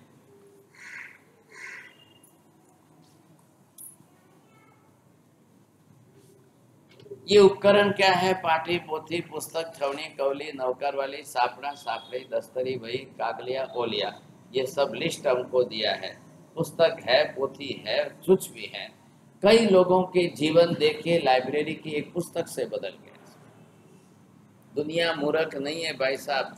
आज बड़ी दुनिया के अंदर British library is the biggest library दुनिया के कई लाइब्रेरी जो है, आज हज़ारों लाखों पुस्तकें रख करके ज्ञान भंडार बनाए जो बनाए वो तो दुनिया से चले गए। एशियाटिक लाइब्रेरी आज फोर्ट में चले जाओ तो आप देखोगे वहाँ। उस जमाने की बनी हुई है। आज भी उसके अंदर हज़ारों पुस्तकें हैं। ऐसी पुस्तकों, क्योंकि सबकी ताकत नहीं है। वो अगर शक्तिहीन है, गरीब भी है तो वहाँ जाकर बैठ करके, पढ़ करके वो ज्ञान प्राप्त कर लेते हैं। ऐसे लाइब्रेरी में जाकर बैठकर पढ़ करके कई लोग, कड़े, बहुत अच्छे विद्वान हो। गए लेकिन आप जाकर के दस पुस्तक वहाँ भेंट करोगे तो आपने जाकर के दस हज़ार दिए, हमारी तरफ़ से एक अलमारी तो लग देना भाई। चलो, पुस्तक रखने के लिए अलमारी तक किसी ने लाकर पुस्तकें दी, किसी ने अलमारी दी, किसी ने टेबल दिया, किसी ने कुर्सी दी। हमने भी अभी विरालयम के अंदर तीस हज़ार ग्रंथों की लाइब्रेरी बनाई है। तीस हज़ार पुस्तकों की library. And this is research library आज कोई वहाँ जा करके बैठकर टेबल कुर्सी पर बैठ करके अपनी स्टडी कर सकता है। Those want to do the research work PhD delete कर सकते हैं सर कोई जाकर देखो तो सही। कोई जाकर बैठकर पढ़ो तो सही। तीस हज़ार पुस्तक किसको बोलते हैं? आपके पुना के अंदर, जैन लाइब्रेरी इतनी बड़ी नहीं, बाकी तो सैकड़ों है। लेकिन जैन लाइब्रेरी कोई बड़ी है तो इतनी बड़ी लाइब्रेरी अब पुणे के विरालयम की लाइब्रेरी से 50 जगह पर चेन्नई से लेकर राजस्थान, अहमदाबाद तक पुस्तकें जाती है। अन्य अन्य जो साधु, साध्वी या रिसर्च करने वाले 50-50 पुस्तक मंगा करके पढ़ रहे हैं अभ्यास कर। आप विरालयम गए और खाली संडास बाथरूम देख करके आ गए और फिर बोले, नहीं, यहाँ तो कुछ नहीं ऐसा है, वैसा है। आपको एक ही चीज़ दिखाई दी, संडास बाथरूम दिखाई दिए, व्यवस्था नहीं है तो आप ढोल पीट दो। आप जाकर देखो कि इतनी बढ़िया लाइब्रेरी है, इतनी अच्छी गौशाला, इतना सुंदर मंदिर है। कोई अच्छी चीज़ भी तो दिखे। खाली संडास बाथरूम के पीछे आप कहा उस दुनिया को क्या करो? आप पहले ये समझिए समझे एक इतनी अच्छी लाइब्रेरी डेवलप करने में बरसों लग जाते हैं। और भी आगे डेवलप हो रही है, और भी बड़ी कर रहे हैं। और भी इतनी बड़ी कर रहे हैं कि अब किसी जैन को वहाँ रिसर्च करनी हो तो। महावीर रिसर्च फाउंडेशन नाम का एक ट्रस्ट इसके लिए बनाया। अब पढ़ा लिखा करके साधु साधवियों को प्लस श्रावक श्राविकाओं को आगे पीएचडी कराना डिलीट के कोर्स कराना और डिग्री दिलाना यूनिवर्सिटियों से डिग्री दिला देना, ये भी काम कर रहे हैं। बढ़ावानु काम लेकिन आखिर तो किसी के सहयोग से होगा। पारसमल जी मेरे को तो दीक्षा लिए चौपन साल हो रहा है। ये चौपन द्वार चौमासा आपके यहाँ पर हो चारों महीने बैठकर मैंने तो जो है कि दो तीन पुस्तकों का लेखन किया। लोगस अभी पूरी होने आई है, दो हज़ार पेज लोगस पर लिखे। खाली नवकार के मेडिटेशन के प्रयोग लिख रहा हूँ और उसको भी जो है कलरफुल डिज़ाइन करके पुस्तक छपा रहे अब पुस्तक छपाने में खर्च तो होता है कि नहीं होता है? पुस्तक भी छपाने में प्रिंटिंग करो तो भी खर्च होता है कि नहीं होता है कितना खर्च होता है, आप सोचो समझे आज के ज़माने में offset machine offset colour printing paper designing colour सब कुछ कर रहे हैं। मैंने यहाँ ट्रस्ट मंडल में संघ को एप्लीकेशन दी कि भाई कुछ नहीं तो ज्ञान की कदर तो करो। तो इनके पास तो ट्रस्ट मंडल के पास एक ही जवाब है सर। क्या लाए, अब इसका क्या करेंगे? ज्ञान खाते में आवक होती है। ये हमारी श्राविका बहनें, महिलाएँ प्रदूषण के और सब प्रतिक्रमण के चढ़ावे करते सारे ज्ञान खाते पुरुषों में आपने देखा पर्यूषण के आठ दिन आपने चढ़ावे किए, सारे ज्ञान खाते अगर कल ज्ञान खाते में से पुस्तक बने और लिखा जाए कि भाई, इस संघ ने ये पुस्तक ज्ञान खाते की राशि से प्रकाशित की है तो एक चढ़ावा बोलने वाले दस रुपए वाले को भी संतोष होगा कि मेरा दस रुपया भी प्रकाशन में लगा तो है।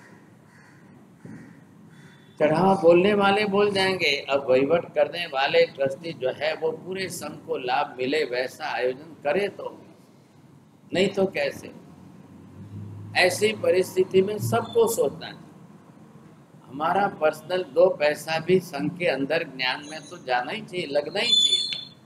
ज्ञान का भी देखिए, सात क्षेत्र के अंदर जिन मंदिर, जिन मूर्ति के बाद तीसरा नंबर ज्ञान हमारे वडिलों ने हज़ारों वर्षों से क्यों किया कि ज्ञान धर्म का ज्ञान का प्रचार प्रसार हो गया? और आपने पैसा बैंकों में एफडी कर दी और ज्ञान का प्रचार प्रसार बंद हो गया, इसलिए दुनिया में एक ही धर्म, ऐसा जैन धर्म, जिसने ज्ञान से कभी अपना प्रचार प्रसार नहीं किया। इतना ऊँचा केवल ज्ञानी का ज्ञान होते हुए, इतने शास्त्र हमारे पास ग्रंथ होते हुए प्रकाशित नहीं कर पाए आज भी सैकड़ों ग्रंथ अभी भी ऐसे ही पड़े हैं, प्रकाशन नहीं हो रहा है। और समाज में ज्ञान रुचि घट गई। ज्ञान की रस रुचि वाले कम हो गए। वो एक दिन ज्ञान पूजा करके संतोष मान लेते। बारह महीने, तीन सौ पैंसठ दिन में से एक दिन राज़ी करने से कैसे हो? ये बहुत आवश्यक है। थोड़ा प्रैक्टिकल भी सोचिए, थोड़ा प्रैक्टिकल बनिए। आप एक संघ ले रहे संघ लेकर बैठो, इतना बड़ा संघ चला रहे हो, आपका परिवार नहीं। आपके कार्य हैं, संघ समाज बड़ा है, होता रहेगा, चलता रहेगा। ज्ञान की उपेक्षा मत करिए, ज्ञान की कदर करिए। ज्ञान की कदर करिए, भाई साहब। मैं तो अपने आप को ज्ञान समर्पित करके कि बहत्तर बरस की उम्र में आज भी लिख रहा हूँ, भगवान की कृपा है, हाथ पैर चल रहे हैं, आँख चल रही है। क्लेश कसाय से अपने आप को बचाने के लिए ज्ञान में मस्त रखने का प्रयत्न कर रहा हूँ। आएँगे, निमित्त तो आएँगे भाई साहब। क्लेश कसाय होंगे, राग होंगे, सब होंगे। क्या करेंगे? हमारे भी तो कर्म का उदय है। लेकिन इन सब में से बुद्धि को बाहर निकाल करके ज्ञान दर्शन में अगर हम तल्लीन रहेंगे तो कर्म से बंधेंगे बचेंगे, नहीं तो नहीं बच संसार छोड़कर दीक्षा लेके भी कर्म बाँध के जाए तो मतलब क्या रहेगा? फिर संसार छोड़ने का भी फ़ायदा जीवन ज्ञान और ध्यान की साधना के लिए अनिवार्य रूप से रहना चाहिए इसलिए प्रयत्न हम कर रहे हैं आप ही करिए सबका सहियारा काम ये श्राविका जी पुष्पा बहन तो इनके साध्वी जी महाराज है पुस्तकें प्रकाशित करते हैं ये खर्च करते हैं और अपनी तरफ से साध्वी जी महाराज वगैरह साथ देते हैं तो पुस्तक छोटी बड़ी छोटी बड़ी पुस्तक बनाते તમે પોતે એકલા પણ તમારા તરફથી એક પુસ્તક બનાવી શકો છો કરી શકો છો હું તો કાલે અમારા ભાગશાળીને થોડો ઠપકો આપતો તો મેં કીધું કાકા વ્યાખ્યાનમાં ઊંઘાય નહીં તો એમને તો મારો ઠપકો સાંભળીને કીધું કે હું લાખ રૂપિયા ખર્ચીને સાહેબ આખી પુસ્તક છાપા मुझे बहुत धन्यवाद देने का मन होता है कि ठपको આપવા ગયો એમાં એમને સામેથી કીધું કે મારે લાખ રૂપિયા ખર્ચીને પુસ્તક છપાવી तो भागशाली लक्ष्मी का सदुपयोग करके ज्ञान उपार्जन करोगे आपने तो दुनिया में जता રહેશું कल मैं भी तो मरने ही वाला हूँ ना लेकिन ये ज्ञान की पुस्तकें लिखकर जाएंगे दुनिया में देश विदेश में सब जगह लोग पढ़ेंगे सीखेंगे समझेंगे किसी को ज्ञान हो गया किसी की दृष्टि खुल गई और किसी का ज्ञान आगे बढ़ गया तो आप भी तो निमित्त बनेंगे ज्ञानावरण्य करना बहुत भारी है और सबसे कठिन आराधना ज्ञानाचार की આંબેલ ઉપવાસ તો એક વાર કિયા और ખેલ ખતમ આજે ઉપવાસ કર્યું ને કાલે આંબેલ કર્યું ને એક ચોવીસ કલાકમાં પૂરું થઈ જશે लेकिन ज्ञान की आराधना जीवन भर जब चलती है तो बहुत कठिन होती है આજે જ્ઞાનની આરાધના કરવા વાળા તમને આંગળીના વેઢે ગણતા મળાશે થોડો લાભ લેન દો પેલા નોમ લગાવે દો अब ऐसी स्थिति के अंदर और कौन मिलेगा बख्श आंबिल की होली करने वाले बहुत मिलेंगे। आज हमारा तो गच्छ जो है, कौन सा है? तपा गच्छ है। ज्ञान गच्छ तो नहीं है। तो आपको आंबिल की होलियाँ करने वाले बहुत मिल जाएँगे। लेकिन ज्ञान की दिशा में आगे बढ़ने वाले कहाँ मिले लेकिन आज भी ऐसे महापुरुष है, कल्प सूत्र जिनको पूरा मुख पाठ याद है, ऐसे भी कल्प सूत्र अकेले जो है वारसा सूत्र अकेले खुद होकर के व्याख्यान में आज भी बढ़ने वाले साधु महाराज आप सोचिए, इतना विशेष ज्ञान अगर किसी के अंदर है और प्रयत्न करते हैं और चला रहे हैं। मैंने एक सामने, आपके सामने छोटी सी बात रखी है। ये पैम्पलेट आज आपको दिया है। छोटा सा एनबिल है। आज की एक योजना में बता रहा हूँ कि भाई ज्ञान प्रकाशन करने की योजना, पुस्तक प्रकाशित करने की छोटी सी योजना। आपके बेटे बेटी के नाम से करो દર વખતે બધાએ દાદા દાદીના નામથી કરે છે કોઈ ગુજરી ગયા હોય એમના નામે તમે લખાવો છો आज सिर्फ आप अपने बेटे बेटी के नाम से जब हम बच्चों को जो है ओम रिम नमो नारस की आराधना कराते हैं आज जब उनको सरस्वती देवी की आराधना कराते हो आज उनके नाम पर खाली पाँच हजार पाँच सौ पंचावन ज्ञानना पांच प्रकार છે पंच ज्ञान मति ज्ञान, श्रुत ज्ञान, अवधि ज्ञान मन पर ज्ञान, केवल। अब पाँच ज्ञान के पाँच हज़ार पाँच सौ पंचावन रुपये बेटे के नाम से। दो बेटे बेटी है तो दो नाम लिखाओ। दस हज़ार पाँच सौ पंचावन लिखाओ। कतरा पोतरा पोतरी आपने वन हिसाब से लिखाओ। और कोई पंद्रह हज़ार पाँच सौ पंचावन लिखे तो बेटे का फ़ोटो भी साथ में आ सकता है। भले छोटा फ़ोटो हो। पुस्तक बनेगी, पुस्तक आपको देंगे। अगर आप जिस विषय की पुस्तकें अलग अलग है, ये पुस्तकों का प्रकाशन करना है खर्च तो होता है। ये खर्च भी बहुत बड़ा है। एक पुस्तक अगर पूरी संघ वाले कराए भागशाली मिनिमम एक लाख रुपए में एक हज़ार नकल बन जाए तो जिसको जिसमें रस हो, रुचि हो, यहाँ पर भागशाली नाम बोलेंगे, आप अपना अपना नाम लिखा दो। आप उतावल है, पहले आप ही लकान पधारो था भारत मल जी बोलो। अब जिनकी जो भावना, जिसकी जितनी इच्छा है, एक नाम लिखाना है, दो नाम लिखाना है। हैंडबिल पैम्पलेट आपके हाथ में है, आपके एक बेटा है, एक बेटी है, जिसकी भावना जो है, आप उस हिसाब से करिए। आपको अपने निमित्त, अपने ही बेटे का निमित्त है। अब उस हिसाब, मिलाते पदार्थ। आप आप बोलेंगे भारत में जी आप नाम लिखते रहना। तो जिनकी भावना बख्शाली आज के दिन एक पुस्तक का प्रकाशन होगा। और फिर आपके बेटे बेटी का नाम छपेगा अंदर। एक सामूहिक रूप से प्रयत्न कर रहे हैं हम।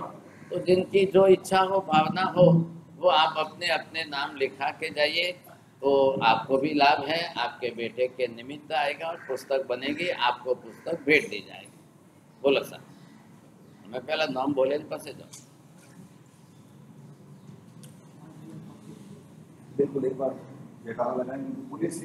स्वामी भगवान की श्रीमती विनोद भाई शाह विजय भाई शाह पाँच हज़ार पाँच सौ पंचावन। तो बेटा बेटी तो नाम लगा आगम। हाँ बेटे का नाम पहले बोले आगम आगम भाई। मयूर भाई शाह। बहुत सारा जो पहले नाम आज आगम शास्त्र तो नाम आया माँ बाप को धन्यवाद है कि बेटे का नाम आगम रखा है ख्याल है हम्म, श्रीमान साहब कल्पेश भाई पारसवल जी परमार नाडोल और वर्तमान में श्री संघ के ट्रस्टी उनकी तरफ से भी पांच हजार पाँच सौ पंचावन में एक नाम કોઈને બે હોય દીકરો દીકરી બે હોય તો બે નામ લખાવજો કોઈને ફોટા સાથે આપવું હોય તો ત્રણ નામ લખાવજો अभिजीत किरण संघवी और मुरदर के अंदर बाली निवासी वालों ने भी एक पाँच हाँ है अभिजीत अभिजीत हाँ, हाँ रही नाम बे लग ठीक है फरमाइए। एक सूरज एक सूर्य भी है नहीं। हाँ दिलीप जी बोलो नहीं। हमें हमें यू करो ना कहो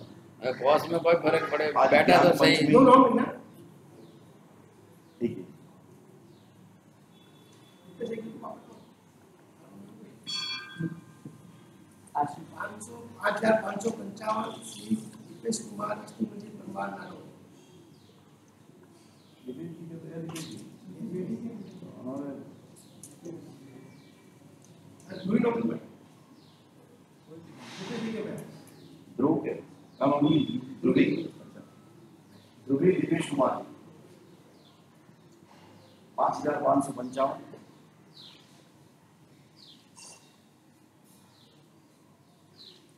ज्ञान पंचमी।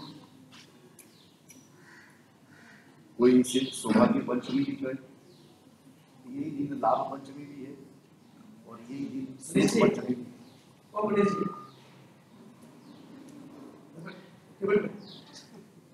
And then it's nice.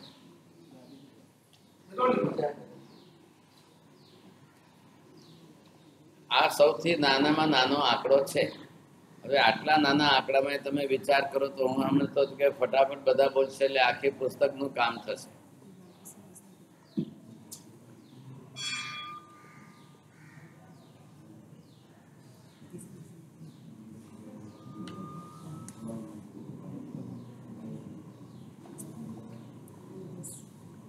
जस किशन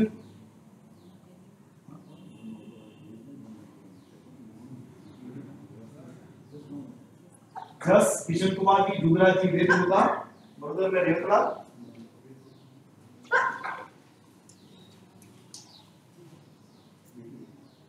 जिया कपिल कुमार जी जुगराज जी वेद मुद्दा बड़ोदर में रेवतला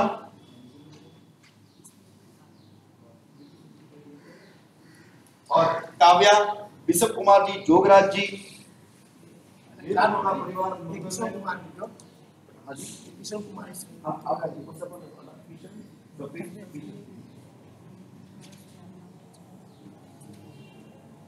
बैठिएगा दो मिनट खाली। पाँच हज़ार पाँच सौ पंचावन के अंदर और दस हज़ार पाँच सौ पंचावन और पंद्रह हज़ार पाँच सौ पंचावन। जो हमारे बीच में ऐसे गुरुदेव विराजमान हैं जिन्होंने सदैव ज्ञान को ही अत्याधिक महत्व देते हुए उस विरानियम जैन तीर्थ के अंदर, जिन मंदिर के साथ, गौशाला के साथ में, एक विशाल पूरे भारत भर में सबसे बड़ी लाइब्रेरी का भी वहाँ पर एक सुंदर व्यवस्था और आयोजन किया और व्यवस्था पूरी तरह से आज संपूर्ण हमारे सामने है।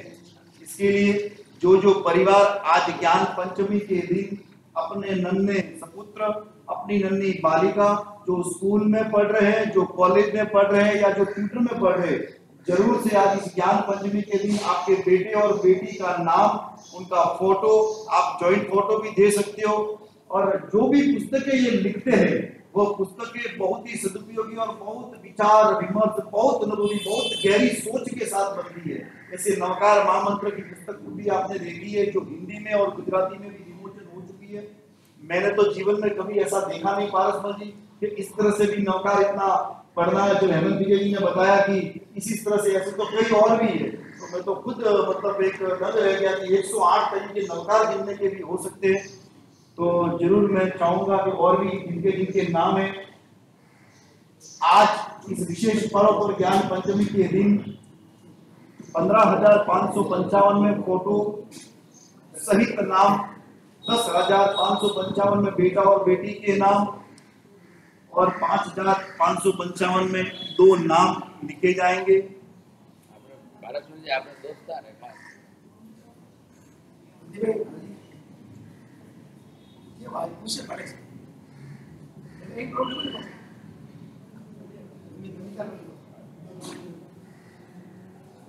आइएगा। आप भी कोई गाना तो सिखा दो।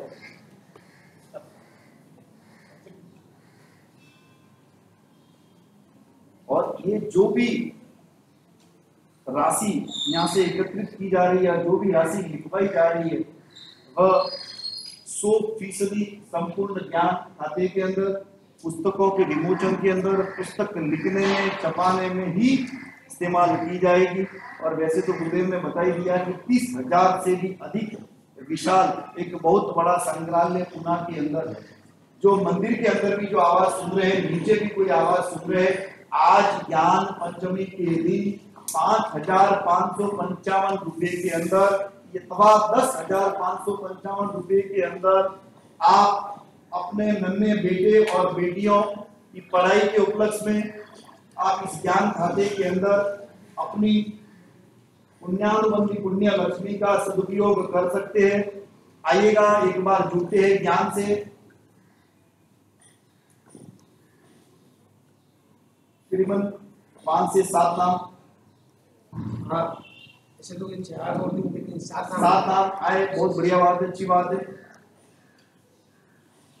पाँच हज़ार पाँच सौ पंचावन।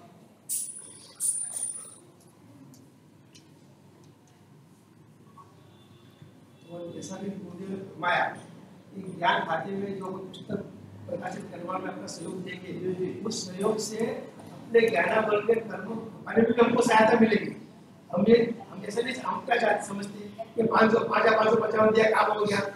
लेकिन काम तो हो गया कौन सा काम हो गया अपने को पता नहीं हमने छपाया कि पुस्तक छपी, पुस्तक लोग पढ़ेंगे, करेंगे काम हो गया। लेकिन असली बात है कि हमारे खुद के ज्ञान ज्ञानाबल के कर्म खपेंगे थोड़े से खपेंगे लेकिन थोड़े से भी खपेंगे ज़रूर। इसलिए कर्म खपाने का ये बहुत अच्छा मौका है। आप जो भी लिखाना चाहते ज़रूर लिखाइएगा कोई भी राशि में जब लिखे जाते हैं ना अहोभाव होना चाहिए। हाँ। अहोभाव से जब राशि लिखाते हो ना तो आज आप जैसे कहते हैं कि हिंदी के अंदर आप एक गाय जुड़ा लेना। आप अहोभाव रखिए।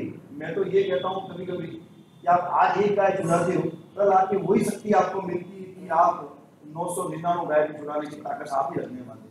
ये कोई वो वाली बात नहीं कि देकर लेना है। और ये तो परमात्मा की साक्षात भूमिका की बात है। पाँच हज़ार पाँच सौ पंचावन रुपए के अंदर विरालियम जैन तीर्थ के अंदर बहुत ही सुंदर सुंदर पुस्तकों का आयोजन बहुत ही सुंदर सुंदर पुस्तकों का विमोचन लेखन सदैव किया जा रहा है। कई वर्षों से ये कार्य निरंतर चालू है। और भी जो भी पुण्यशाली और सबसे लाभ लेना चाहते हैं। सबसे बड़ी बात अपने इधर के ज्ञान मध्य चातुर्मास। था हमारे संघ के अंदर पहली बार ज्ञान मध्य चातुर्मास हुआ। हमको कर्म के विपाक सूत्र हमको समझाया गया। और वो विपाक सूत्र में हम समझे समझा कि कर्म कितने बनते कितने जल्दी है छूटने कितने भारी है। तो ये ज्ञान के कर्म तो और भी बहुत भारी छूटते तो ये अपने को छुड़वाने का मौका मिला है। तो इसमें ज़रूर ज़रूर लाभ लेना चाहिए सबको।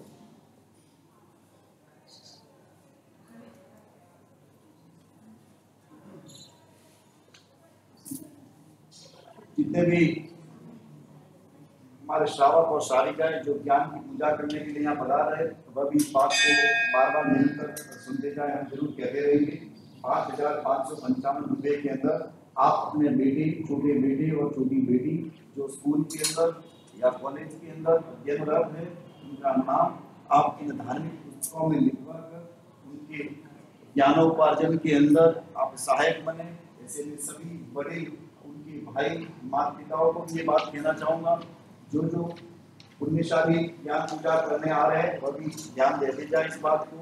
पाँच हज़ार पाँच सौ पंचावन रुपए के अंदर आप अपने बेटे और बेटी का नाम इस सुपर के अंदर लिखवा सकते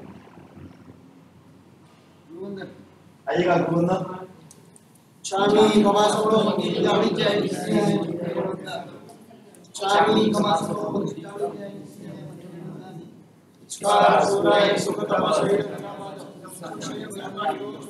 स्वामी सादा के ही भाग भाग पड़ी चाकर तसे तो हम लोग जल्दी से मध्यम पर मध्यम मध्यम पढ़े वेले में चलने से लोग छात्र समझते मध्यम भाषा ने बोला जल्दी से मध्यम वेले पर लोग सब में बारंबार कुछ जाना हम ना जाना नहीं चालू